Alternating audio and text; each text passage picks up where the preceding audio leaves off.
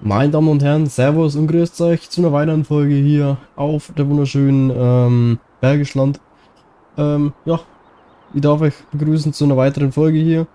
Ähm, haben jetzt gerade noch ein bisschen aufs Kanal gesetzt, gerade ein bisschen Fernsehen geschaut. Ähm, nebenbei ein bisschen Kaffee getrunken, jetzt müssen wir nochmal schnell die Taste runter. Wenn ich durch, durch, können wir da vielleicht. Ja, ja. Vielleicht, vielleicht auch nicht. Das ist ein bisschen problematisch hier.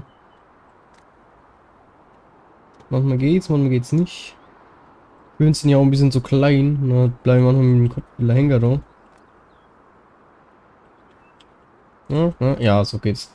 Wunderbar, dann stellen wir da nochmal das ab, beziehungsweise da gleich auf die Anrichte genau passt. Ähm, ja, um was eigentlich hinten der heutigen Folge, ja, ihr habt das wahrscheinlich schon am äh, Thumbnail gesehen.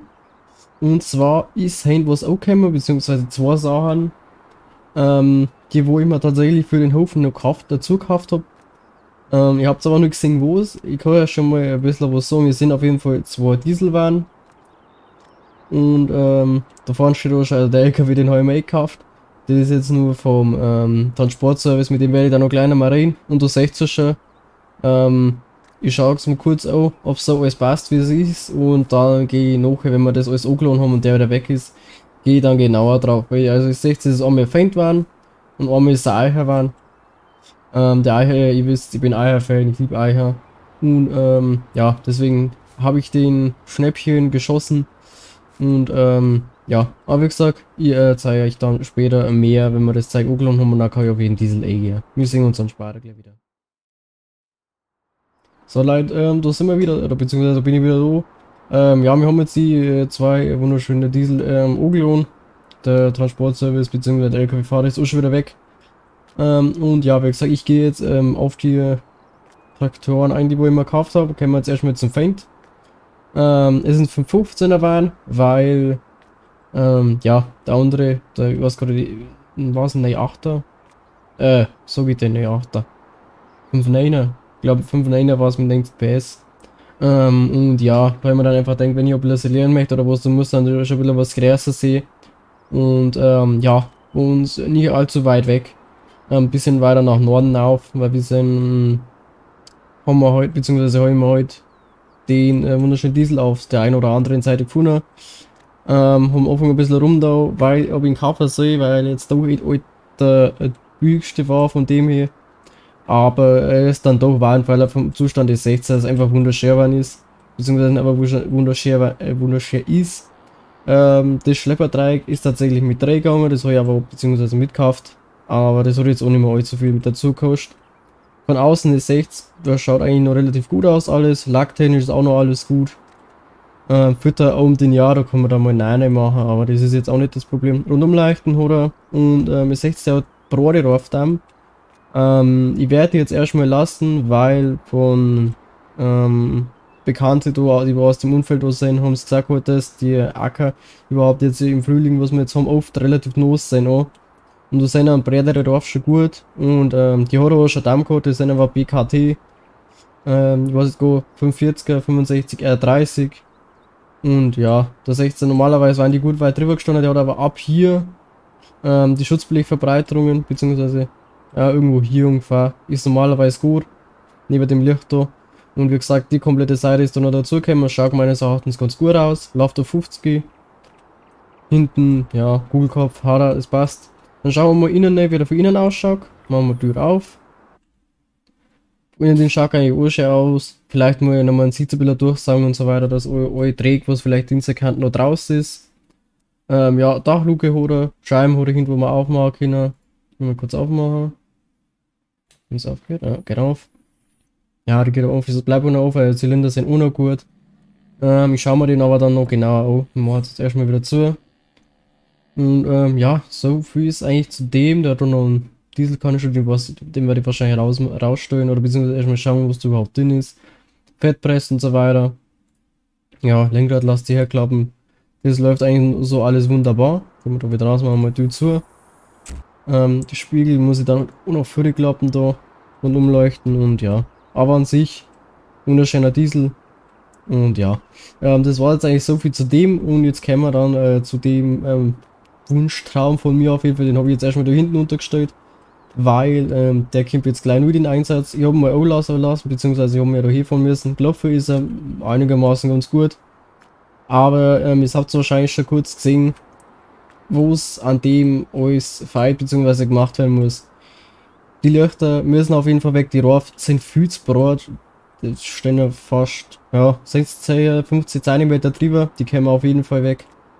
Ähm, ich weiß nicht, ob ich es noch da lasse. Die kann mir auf Zeiten stellen vielleicht. Das mir nutzt und die Schutzblecher äh, stehen auch ein bisschen zu weit weg für meinen Geschmack. Ich habe normalerweise ein bisschen näher da noch. Und ähm, ja, der ist tatsächlich aus bei den Franzosen, der in Frankreich hat der dient, er hat schon gut was mitgemacht, ist er 3145, 145 PS. Ähm, ja, ich habe mir halt jetzt zwei Diesel im 150 PS Bereich gekauft, dass ich halt, wenn wir mal silieren oder einfach mal schwere Beine haben, damit wir da äh, gut vorankommen. Auf jeden Fall, wie gesagt, rundum leichten Damen. Und ja, bei dem braucht auf jeden Fall viel machen. Nicht nur außen, auch ähm, vom Getriebe und so weiter und auch innen hier. Innen geht es eigentlich sogar noch relativ. Ähm, da schaut es eigentlich noch alle relativ sauber aus. Sieht's, passt eigentlich auch noch so weit. Scheinbar gegen U auf. Zylinder kann man vielleicht mit Nein machen und so weiter. Aber im Großen und Ganzen innen den schaut er noch gut aus. Aber außen braucht halt echt viel machen bei dem. Und ja, das wird halt immer so Freizeitaufgabe sein. Ich krieg's aber wieder mal ein bisschen Update. Und was ich vorhabe, Fronthydraulik wird auf jeden Fall noch noch kriegen. Weil ich möchte zum Beispiel fürs Manual einsetzen und so weiter, wenn jetzt zum Beispiel der 515er jetzt 8 gerade da ist, oder ähm, der 5.9, ich weiß nicht, ob der das Mehrwerk überhaupt treibt, beziehungsweise wir haben ja gar kein Mehrwerk da. Und ich hätte mir eigentlich Front und Heck gekauft. Und ähm, glaube mit 1 PS, demnach, was wir uns vor uns kaufen, kann man da echt weit. Und ja, aber auch Kugelkopf, Hydraulik passt auch noch aus, Anschlüsse, muss ich mal schauen. Ja, ich glaube drei. Hat er drei? Ne, normalerweise hat er bloß zwei doppelwirkende, die drei werden wahrscheinlich normal sein. Ja. Anschluss, Strom und so weiter ist eigentlich alles da. Und ähm, ja, der hat auch einen guten Sound. Schöner Sechszylinder. Passt von dem her. Ähm, ja. Das Ganze schauen wir dann heute halt noch an und ja, so viel zu dem Thema jetzt. Ich kann jetzt eigentlich echt so viel mehr da sagen. Ähm, ich muss jetzt halt mal schauen, was mein Handy jetzt noch alles machen drin. Ähm, ich kann eigentlich, ah, das kann ich eigentlich nicht machen. Ich kann da eigentlich den Fans sagen, kurze Probefahrt machen. Ähm, und ja, das passt, weil irgendwann dieser Uhr habe ich schon alles gemacht, das passt. Daher, wie gesagt, ist eh da gemacht. Aber da seht ihr Kennzeichen, vorne ist da, hint ist normalerweise O. Ja, hint ist O da, passt. Was wir aber noch machen müssen vorher ist, äh, erstmal die Spiegel nochmal schnell ausklappen, weil sonst dürfen wir mitfahren. Oder können wir schon, aber ich sehe halt da nicht, wo ich laufe, ne? Und umleichten, die brauchen wir jetzt eh aufklappen. Brauchen wir jetzt nicht. Zum Schluss ich es noch weg. Dann tun wir wieder zu. Lenkrad herklappen. Scheinbar lasse ich zu, weil es einfach ein bisschen, frisch ist. Hat was im Grothaus, aber der Wind dicht. Seiner starten wir das gute Teil mal. Ja, läuft. Auf allen Pfoten. Das passt soweit. Dann machen wir mal Handbremse raus. Ah, da bin ich schon gleich los von hier. Ein bisschen rausschalten, so. Ah, habe ich fast vergessen. Ich muss von da 3 hoch machen. Ja, da passt. Wunderbar. Gehen wir eigentlich mal los von hier.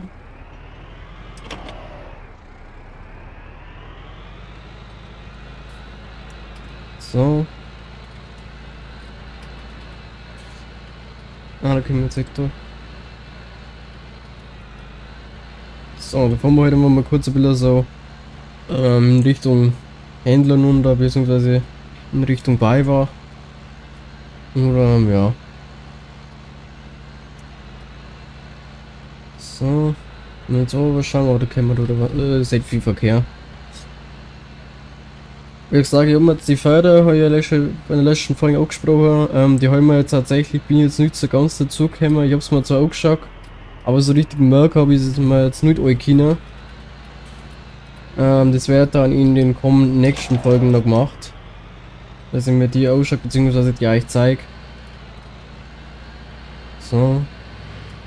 Ich schaue jetzt mal alle Gänge durch bis zu 50. So. Ist wie gesagt 6 Ganggetriebe, 4 Gruppen. So, ich fahre jetzt aber da vorne schon wieder rein. Weil wir tatsächlich anfangs nicht so lange auf der Straße. So. Passt, wie gesagt, ist, ähm, ah ne, doch, Reifeisen ist wie schon. War jetzt ganz Dingens. Ähm, ja, Tanksteuermotor, du, ich weiß jetzt gar nicht für Diesel normalerweise, oh, ich war jetzt so selten drunter, ich bin bloß einmal mit dem Auto mal kurz vorbeigefahren, wo ich wieder spazieren gefahren bin und mir das Ganze angeschaut habe. Und, ähm, ja, dann fahren wir wieder zurück Richtung Hof. Also, das sieht man schon, der ist schon gut gepflegt worden.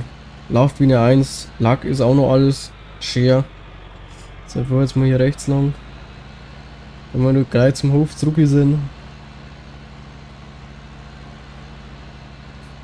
Ich gehe jetzt mal ein bisschen auf Bremse, dass er platzieren muss. Ja, schafft auch noch gut.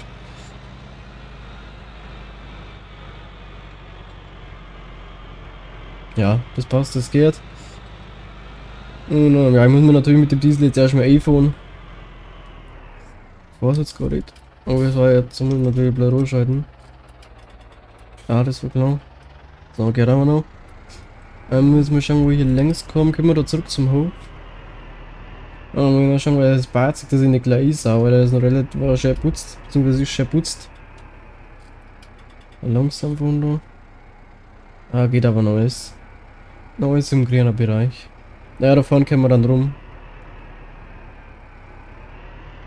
So, ich kann mir gar nicht zu schnell fahren, weil hier ist einfach holprig.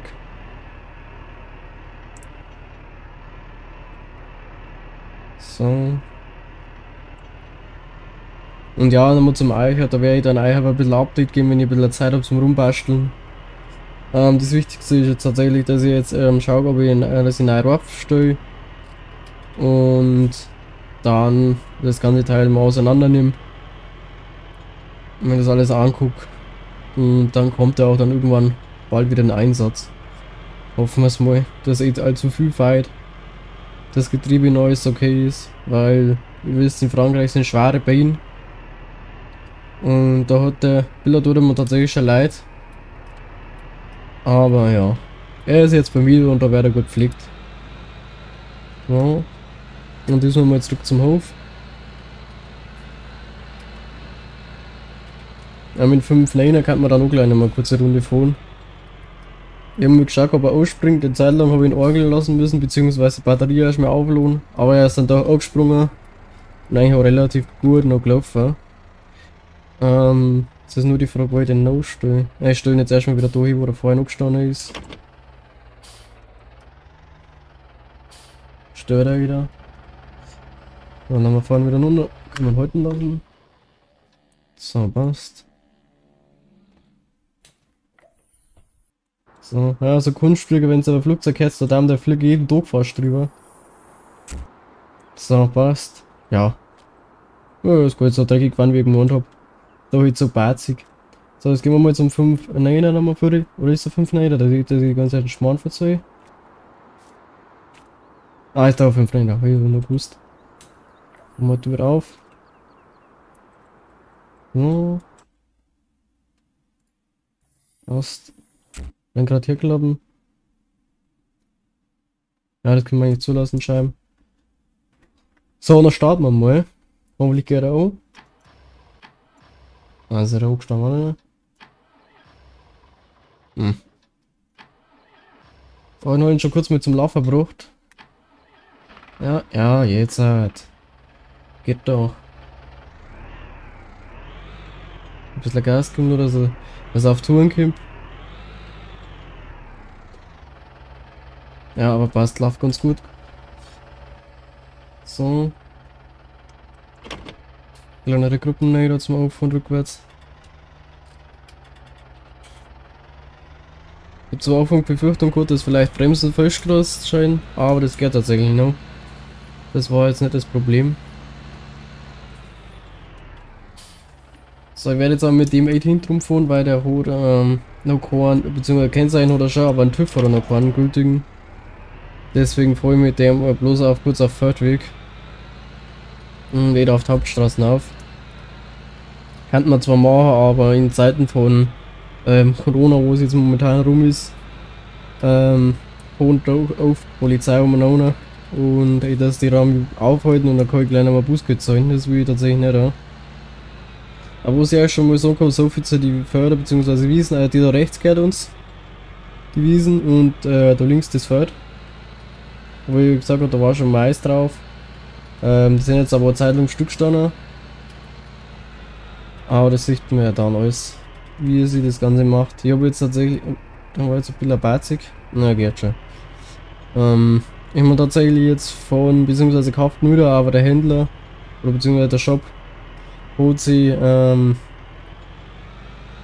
ein, aber ich hasse nicht jetzt einmal, so ein Bodenprobengerät auf jeden Fall jetzt gekauft, beziehungsweise die Gmor hat sich gekauft, der steht jetzt beim, beim Händler und und auf jeden Fall, da werde ich dann mal schauen, dass ich das an, ich weiß nicht mit welchem Diesel das circa, ob ich es an GT da mache und dann mal auf den Acker fahre und dann mal da Bodenproben ziehe, wie das Ganze ausschaut. Und ja, aber wie gesagt, das wird dann alles noch in den nächsten Folgen passieren. Ich muss jetzt erstmal da in neues Dreh kommen. Und ja, dann passt es. Wir fahren jetzt einmal die gleiche, ja, gleiche Strecke, weil da können wir bloß auf einen anderen Acker um.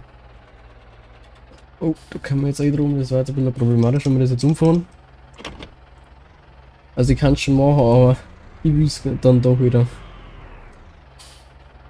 Stehen euch da? Ah, Land- und Forstbetrieb frei, ja. Wir sind Landbetrieb. Beziehungsweise landwirtschaftlicher Betrieb, das heißt, wir können da schon fahren. So, wie gesagt, wo wir echt zu schnell fahren. Weil es da ein bisschen batzig und holprig. Und wie gesagt, mal schauen wir bei dem, weil 60 der Luftfilter ist auch, ähm, ja, Öl. Ist auf jeden Fall ein bisschen dreckig auf jeden Fall. Die schauen, dass ich da naja nicht mache. Und die ganzen Diesel an sich einfach wieder auf Vordermann bringen. Dass wir da alles gut arbeiten können. An sich laufen er noch rund. Bremsen passen alles. Können dann gleich einen kurzen Berg noch einen kleinen Zugtest machen. Geh jetzt mal ein bisschen auf Brems.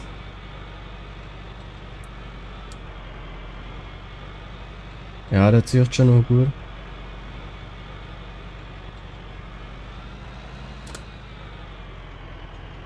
Ja. Muss so ein bisschen dusen, wie sie der Motor auch hört. Ja, aber das passt. Der läuft wieder und wenn er ein bisschen warm ist, dann läuft er wieder, dass man die ganzen Käume wieder durchhaut. So. Passt. Dann fahren wir noch gleich mal wieder zurück. Dann schauen wir mal einen auf. Ja.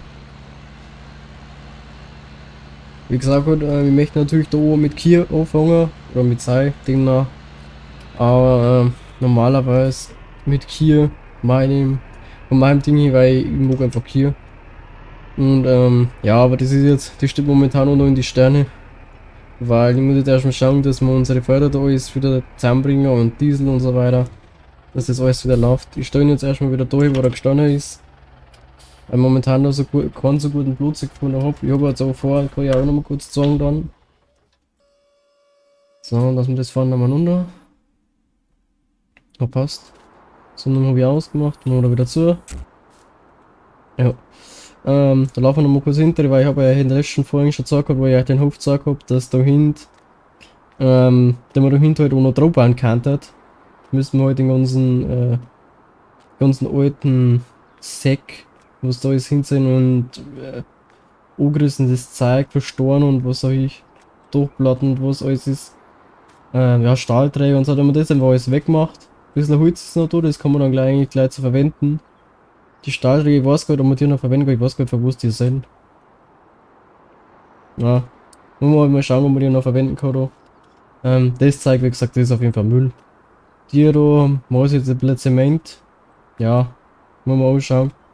Ähm, wie gesagt, auf jeden Fall der Motor zum Beispiel hier, wo halt ähm, die Großlinie hier ist, den man halt hier, jetzt hat mein Handy vibriert. Was jetzt, ob man das jetzt auch nicht mehr gehört wenn ja, dann tut es mir leid. Aber an sich, das passt gut. Ähm, ja, dass man halt das ganze Zeug da wegrammt und dann da halt rausbaut, so eine Überdachung, dass man halt da einfach noch ein paar Sachen unterstellen kann. Und ähm, ja, das war jetzt eigentlich alles, was ich mit euch hinten noch zu besprechen hatte. Wir haben so wieder für halber vier. Ähm, das heißt, ich werde noch ein bisschen, ich werde mir den Eich jetzt noch ein bisschen anschauen, wenn ich Lust habe. Und dann halt einfach nochmal ähm, schauen, was uns fördert und so weiter. Mal vielleicht mit dem Auto nochmal, nein, mit dem Auto noch von wer hinten. Bin im Stachel noch. Ah, ein bisschen aufgerissen, na geht schon. Ähm, wie gesagt, dass ich mir heute das nochmal anschaue, dann was uns alles gehört. Und dass ich heute dann vielleicht mit euch in der nächsten Folge ähm, das Ganze anschaue. Ähm, in Farmer sind wir jetzt tatsächlich nicht gefunden mit dem GT Alter. Aber ähm, das kann man sich alles noch aufheben. Ich habe jetzt einmal durchprobiert, ob es anlaufen. Batterien aufgehängt. Sind eigentlich alle angelaufen. Und ja, an sich passt das Ganze. Ähm, wie gesagt, dann darf ich mich fürs Zuschauen bei euch schon wieder bedanken. Ich gehe jetzt wahrscheinlich noch mein Haus und gucke mir das Ganze nochmal genauer an. Und ähm, ja, bis dahin wünsche euch noch einen schönen Tag und macht's gut.